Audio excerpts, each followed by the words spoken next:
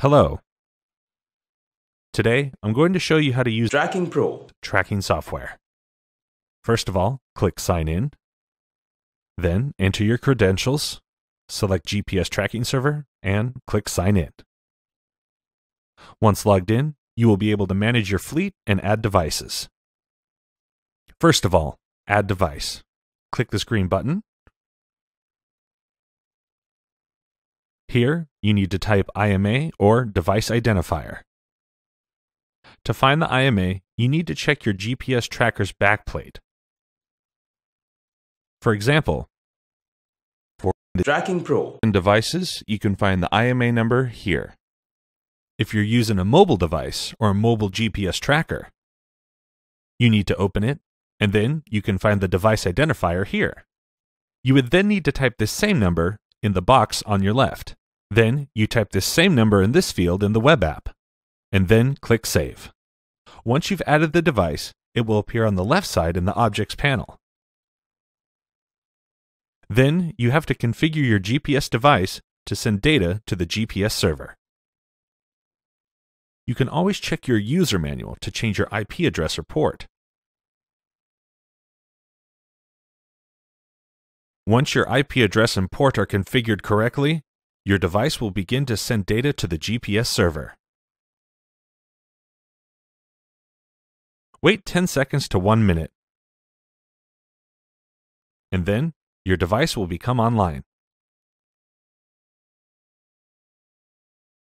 On the left panel here, we can see its yellow dot. You can click on it. The yellow dot will show you that the device is online, but not moving. If the dot or arrow is green, it means the device is moving. And if the dot or arrow is red, it means the device is offline. You can always change the behavior and the color by editing the device.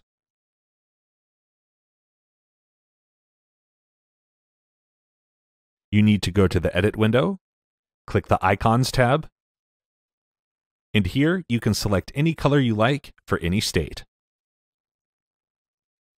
If you don't like the arrow, you can always change it to a different icon of your choice. Or a rotating icon. A rotating icon means that the icon will follow its angle. So let's say you're turning right or left. The icon will rotate in concordance to match its position.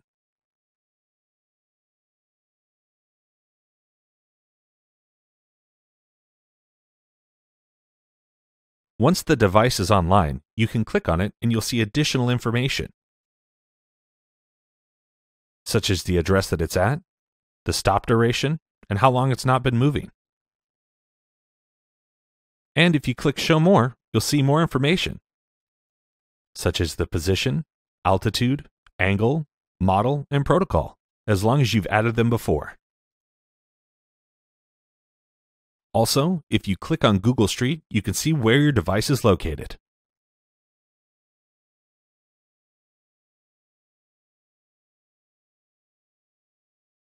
If you click Enlarge, you'll see a more detailed picture.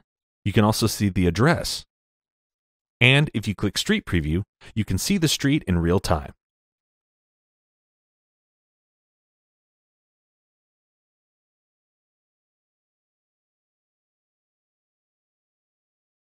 Now, as you can see here, you can click on any of the devices that you have and monitor them all at once. You can add them to groups and view each group separately. For example, if you click the minus signs, you'll see that the menu shapes up into each individual group.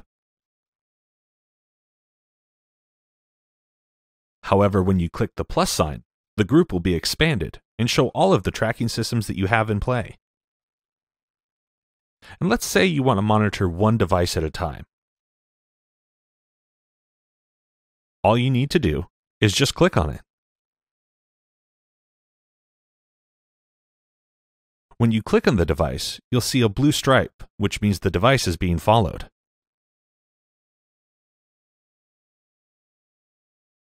And you'll be able to see in the main screen exactly where the device is going at all times. And if you click it again, you'll see that the blue line disappears, and so does the map. And you won't be following the device any longer. This is very useful if you have several devices in one window and only want to follow one at a time.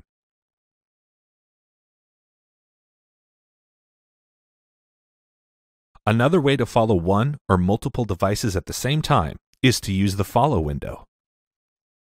So let's go over to a device and click Follow.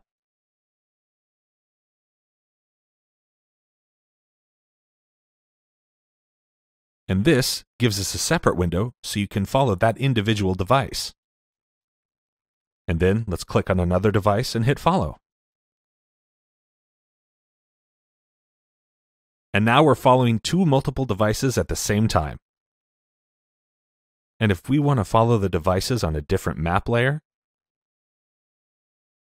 click here, select Street Satellite,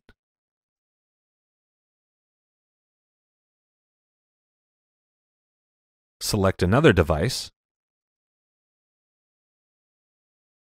and you will see a real-time projection of the street below.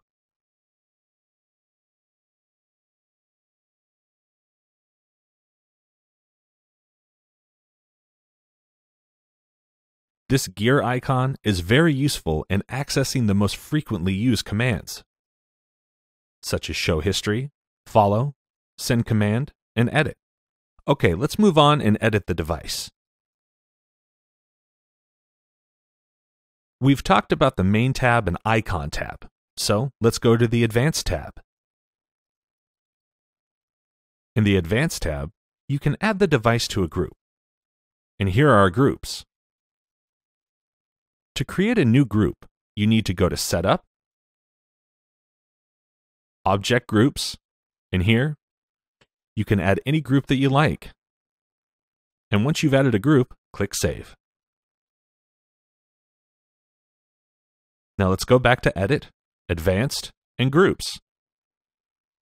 And the selected group is Boats, but you can change it to any group that you like. Or you can change it to ungrouped, and it won't be grouped at all anymore.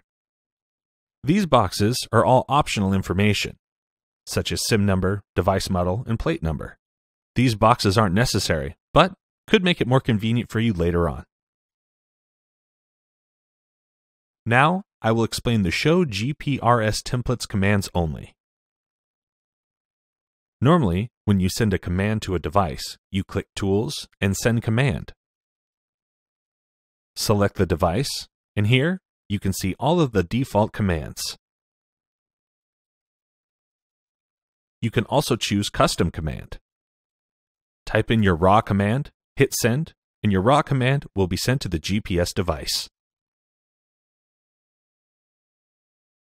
You have a lot of raw commands available for this device. You also have a bunch of standard commands, such as position, periodic reporting, and many more that are available, but aren't necessary to use. And if you want to add your own commands, go to Setup, GPRS Templates, and add your own command.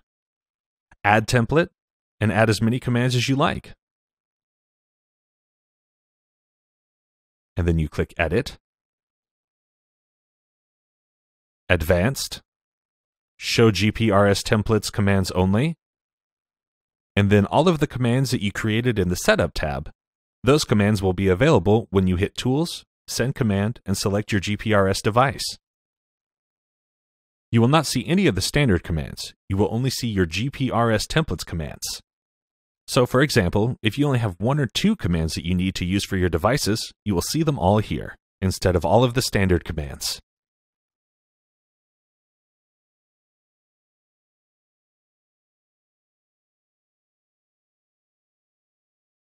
Now let's look at time adjustment. It's an optional feature, and you don't necessarily have to use it. But sometimes, if your tracker is unable to send time in UTC 0, then you can actually adjust the time here.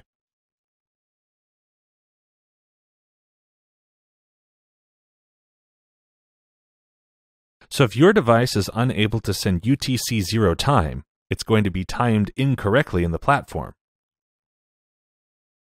Therefore, you can individually adjust the time for each device.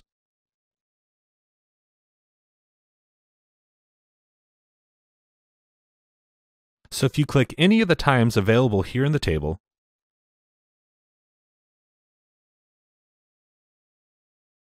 you will be able to change. And this is not a recommended feature.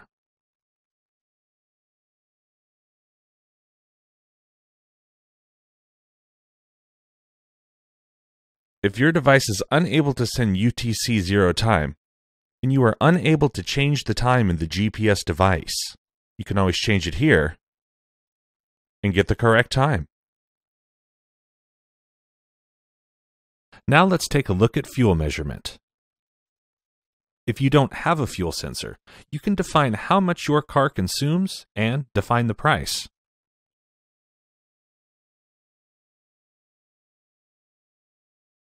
Once those numbers are properly defined, you will see the correct fuel consumption in the reports and the history.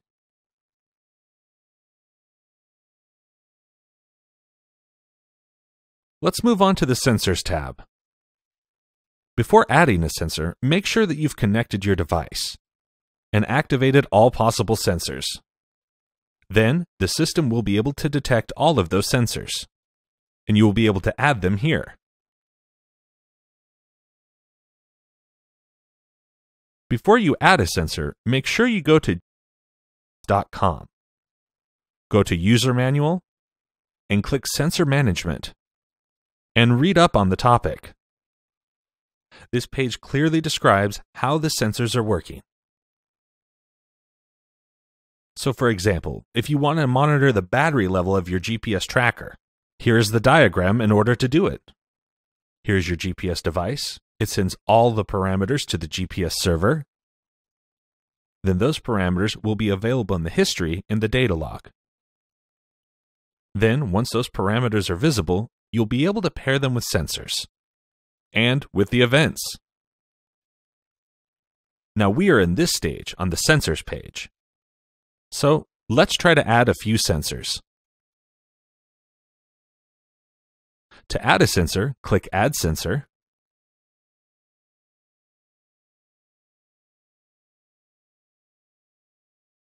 type in any sensor name that you like, and select the sensor type. The sensor type depends on what the parameter is. So let's see what parameters are detected for this device. We have odometer, ignition, input output, and other types. So let's say we want to add an ignition sensor. So we select ignition parameter. And then we have to select the ignition type of sensor, which is AC on-off or ignition on-off. Both are actually good to use. Now let's take a look at the on value and the off value. To do this, you need to go to History and check the data log for this device.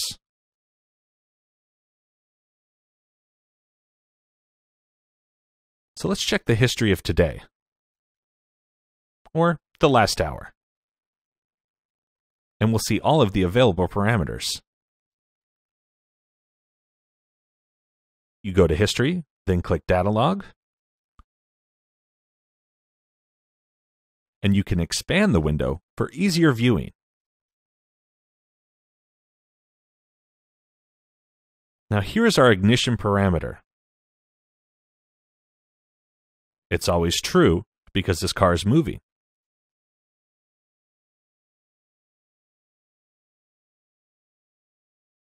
But if the car is not moving, the ignition sensor should be false.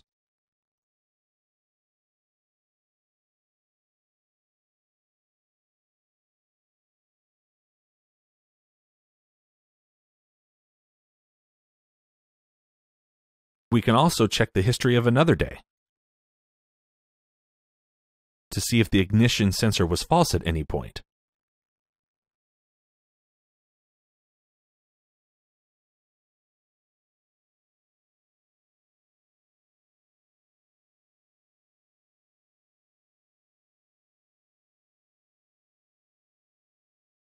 So we found one where the ignition status is false. This means the device is not moving. And this is why it sends the parameter value of false. But we know if the ignition is on, it will send the parameter value of true. It just happens here that the ignition is off, so it's giving us the parameter value of false.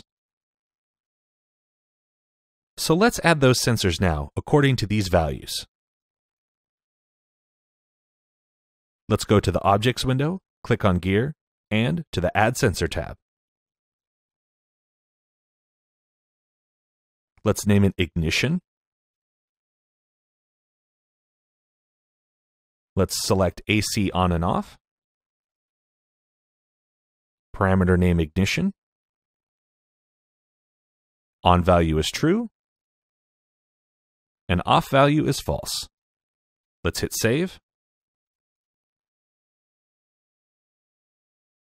Now that we've added the ignition sensor, we can monitor the ignition in real time.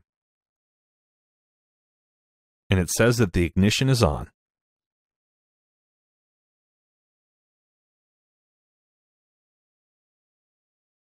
Once the ignition is on, we have to go to the Accuracy tab and select the sensor AC on off. And this is the sensor that we configured previously. And then click Save.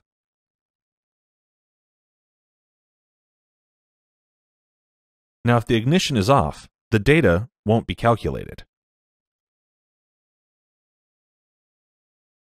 When you have the ignition sensor configured, it will accurately show how many hours a car was driven and how many miles.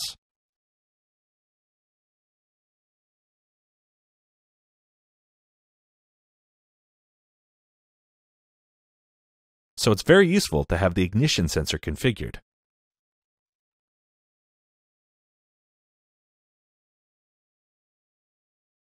Now, let's go to the next Add Services. Click Add Service, and here you can add any service. Services can be used in various scenarios. For example, let's say you want to check how many days are left until your insurance expires.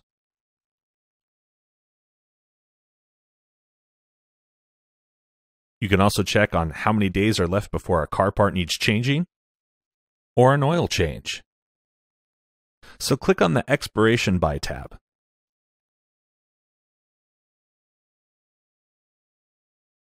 And you can select how you'd like to be notified.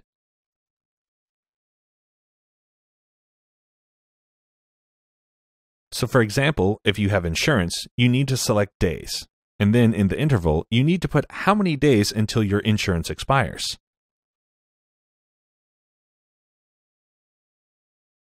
Or if you want to change parts every 1,000 to 10,000 kilometers, click on odometer.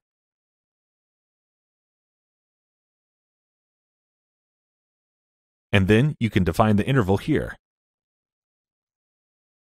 Trigger event when left will notify you when your insurance is about to expire or when your car part needs changing.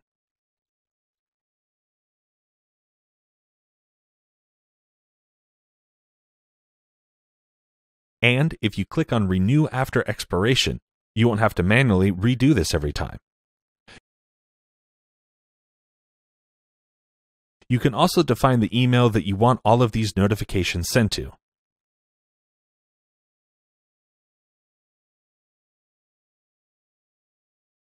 Now we're back in the Accuracy tab, which we talked a little bit about before. These are the sensors that you can set to detect engine hours and movement but by default it's GPS if you have no other sensors. Or if you have the ignition and engine sensor, this is a more accurate way to collect information for your history and your reports. The minimum moving speed is set to default at 6. If you are below 6, you will not trigger this.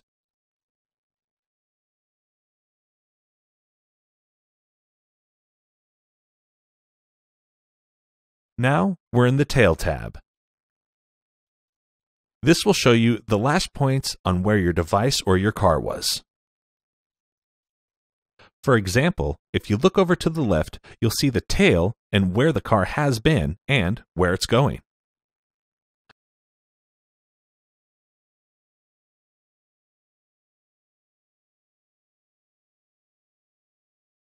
Now, to check the device history, go to the History tab. Select any device and select your date range. And then click Show History. Another way to check on history is to click the gear icon and then check out Show History from the last hour, from the whole day, or from yesterday. So let's say we want to see the history of the last hour. Just click the gear and click on History of the last hour. Now you can see the history of the last hour. You can see where the car has been and how fast it's been going. Also, if you click the play button, you can replay this time of history. And it will replay the history in real time or choose your setting and speed it up.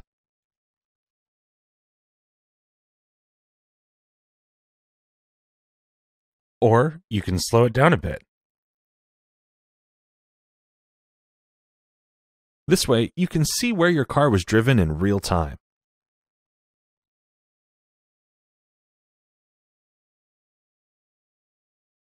And here's the Altitude tab.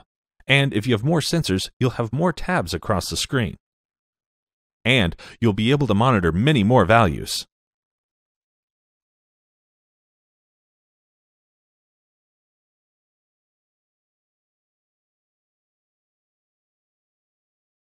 On the left side, you can click D, and D means drive. And you can see the marked route and where your car was driven. Without actually stopping.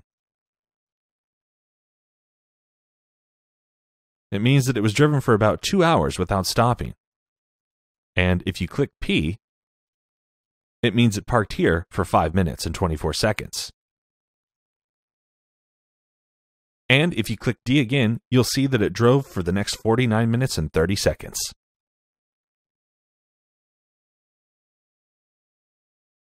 And if you click the Start or Finish icon, you'll see the summary of all of your travel.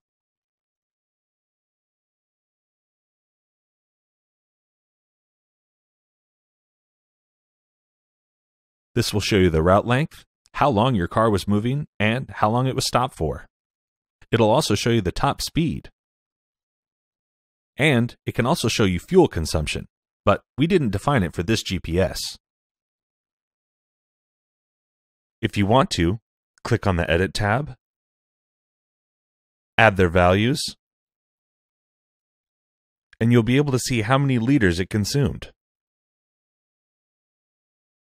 Now, if you click on this arrow tab, you can export the history to various formats such as GSR, KML, GPX, and CSV, if you want to use that data for third party applications.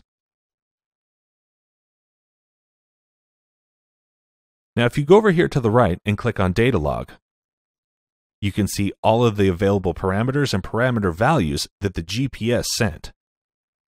You can read more about the parameters in the TrakingPro Walks manual. Click on Sensor or Device Management click on Device Management. It will describe how the sensor and device parameters are working and how they are paired.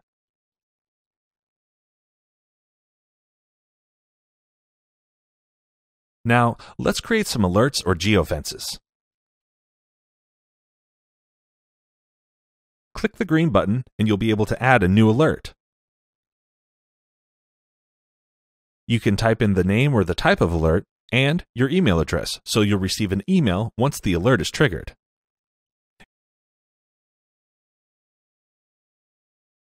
In the next tab, Devices, you can pick which devices you want to set the alerts to.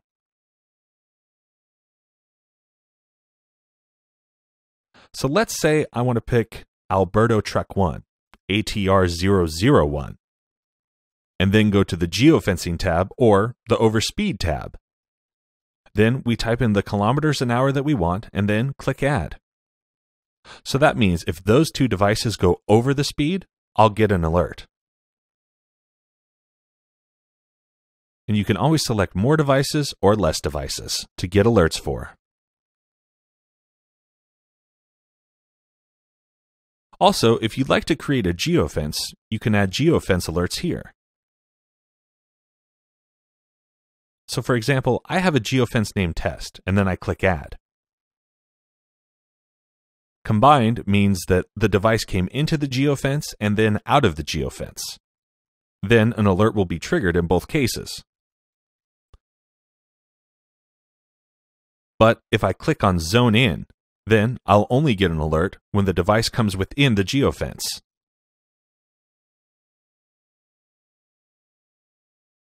The same is with the Zone Out. So the device, once it leaves the geofence, so you'll get an alert once the device leaves the geofence. You can also select the time. We'll say from 8 a.m. to 8 p.m. And then click Add.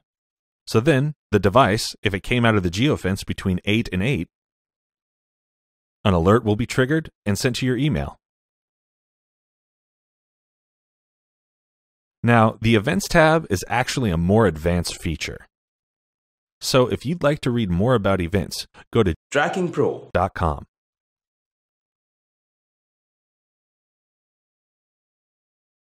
Click on the Setup window, and it'll take you to the Setup page. If you scroll down, it'll take you to events.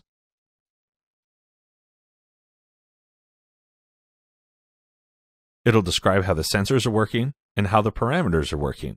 And once you know that information, you will be able to pair events with the parameters and create alerts for it. So for example, if you want to create a low battery alert,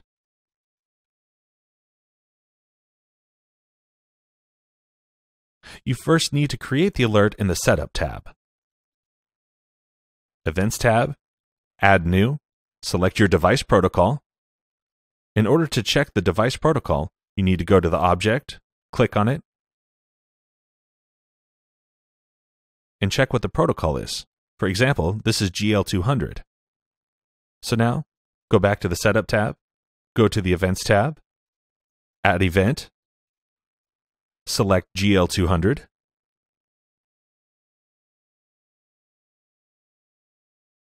Now we go to the conditions and type in the parameter of battery or BAT.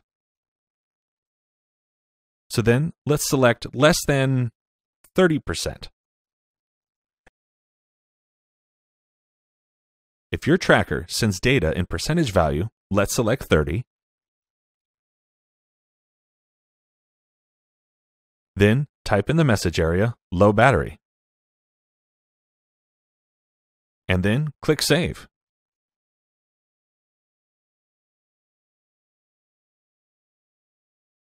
Then go back to Alerts, hit the green Add button, go to Devices, select your device, go to the Events tab, and now you can see that I've created an event for the GL200. So let's say you have 10 devices with the same protocol. You would just select the devices here, and in the Events tab, select its protocol. And now it detects my created event, which is low battery, and I click Add. Now click Save. The alert will be saved.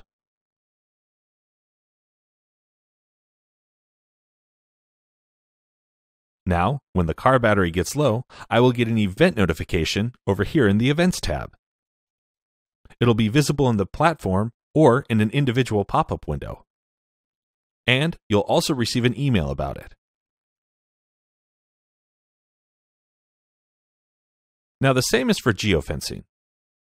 So, when you click Tools, click Geofencing.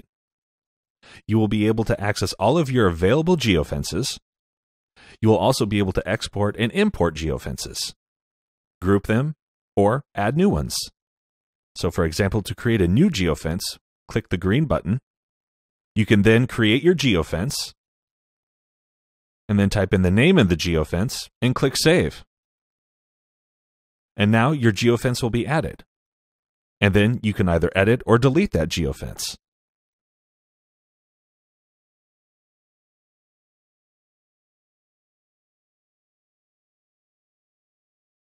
Okay, now let's talk about routes. The routes are used to actually draw a route for your driver to see if your device is moving along your specifically drafted route.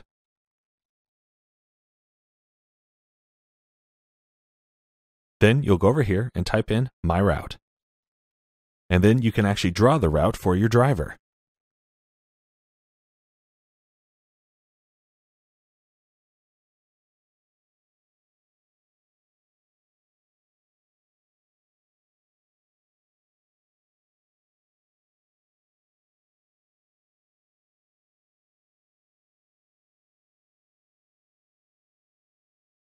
Click Save, and then click on Routes on your right. You can also monitor other routes and geofences in real time.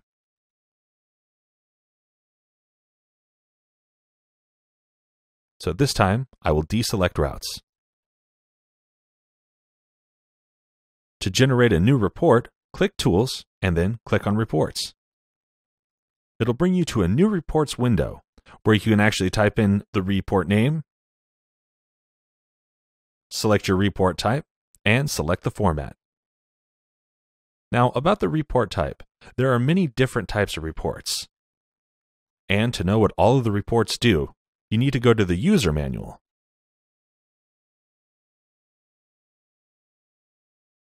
Go to Tools and Reports, and check out all of the details for all the different type of reports.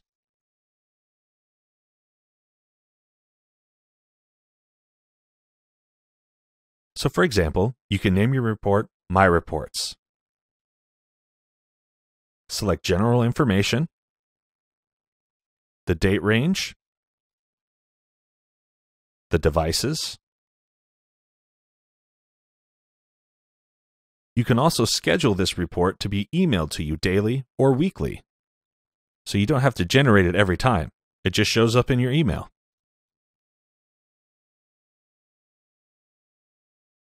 In here, you can actually set additional parameters, such as speed limits, stops, and show addresses. And all of this is available in the Drives and Stops report.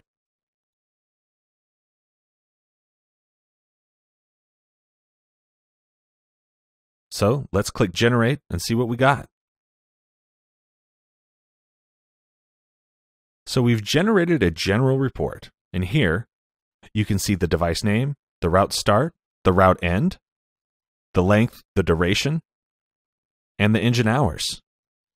Now, in the next tab, you can see all of the generated reports from your past and all of the scheduled reports that are coming up.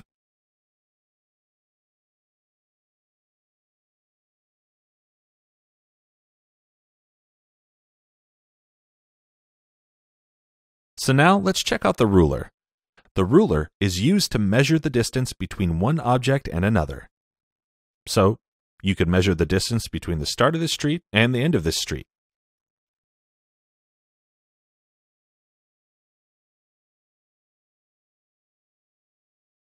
Now let's check out the POI, or point of interest. And here, you can add a point of interest and name it any way that you like.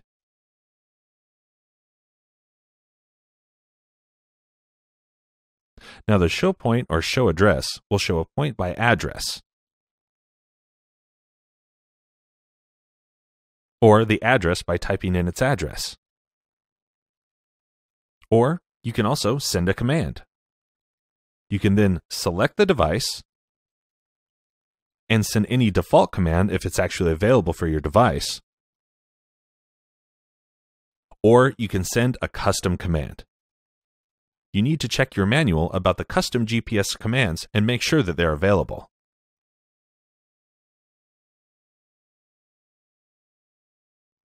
You can also send an SMS message to your devices. But before you can send or receive SMS messages, you need to go to your Setup tab, click on SMS Gateway, and enable SMS Gateway and now you can use our SMS Gateway app, which is available on Google Play. You can find it on our webpage by clicking Apps. In Android apps, click on SMS Gateway and then click on Google Play and download it. Click Type and then click Automatic.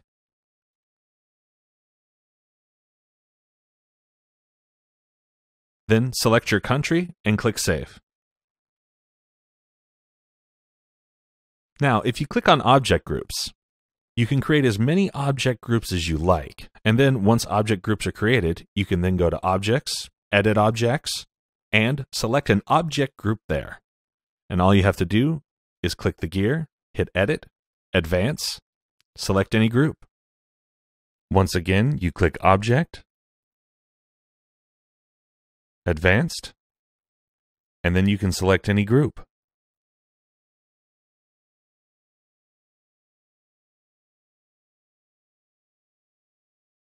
Now, if you click on drivers, drivers are only used if you have an iButton or an RFID device. You then click Add Driver, write in the driver name, select the device, and then click RFID or the iButton number here, and then click Save.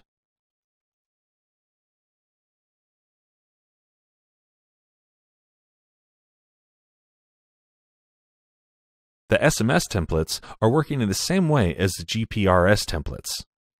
You click Add Template, type in the title, the message, and then click Save.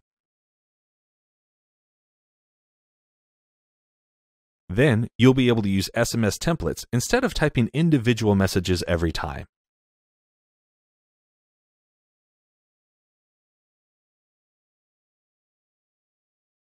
In the top right corner, you can click on the flag and select any language that you like. And we're constantly adding more languages. So stay tuned. Now in the right corner of the map, with this button, you can hide all of the toolbars, leaving only the essential ones. This is very useful if you're using a mobile device. Just click this button and you'll see a map of your devices only. And with the map icon, you can really select any map that you like.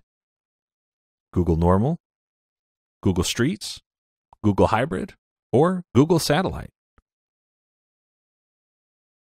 And these are the zoom tools, plus and minus. And these are your checkboxes. This will allow you to see objects, geofences, routes, POI, or anything else that's selected.